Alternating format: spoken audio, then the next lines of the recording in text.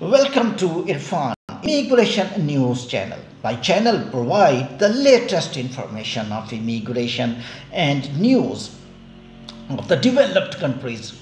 And I also analyze the immigration and the visa news. In this clip, I will discuss regarding Indian students who want to go to Canada and whose applications are in process. Will they affect their application? And what will be the future fate of India-Canada crisis in the current scenario? But before diving into the detail, I would request please subscribe my channel and like my channel. Now we come back to our topic.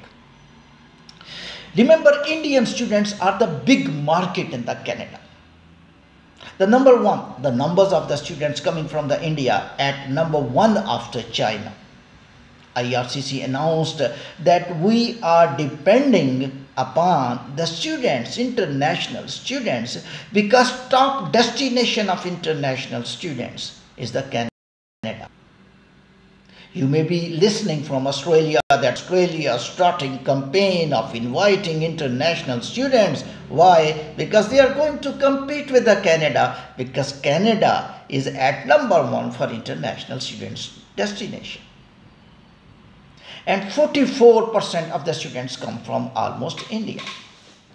If India will stop going to Canada, it is directly hitting the economy of the Canada.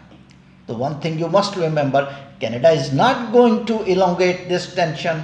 It will shun and it will end very soon because it is the question of economy of the Canada. European countries never sacrifice their economy. So this scenario, this tension, this crisis is only for some time. But I would like to tell, share information from India Indian Punjab students are much worried than New Delhi because these students want to study from Canada because they think when they will get education from the Punjab, when they will do job in Indian Punjab, their salaries are quite less. When they will get the Canadian international qualification, the companies in the Punjab offer them very good salaries. Most of the students goes to Canada from the Indian Punjab because New Delhi multinational companies are working and the students who are free from education they are easily work in the, those companies. Remember that some indians want to settle in canada after the getting the education in the express entry programs in the pnp programs of the different provinces of the canada you must also remember that main market of PR of Canada is India. Students of Indians must remember this tension is going to be finished very soon. But the question is the applications who are in process, what is the status?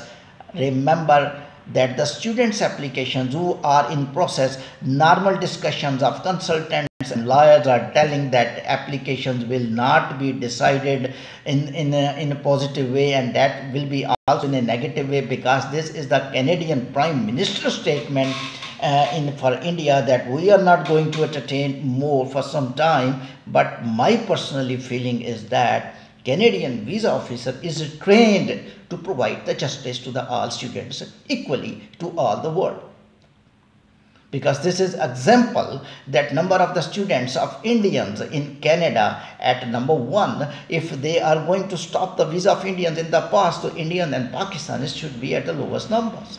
It means that Canadian visa officer justified their duty so I don't think that that will affect the applications who are in process.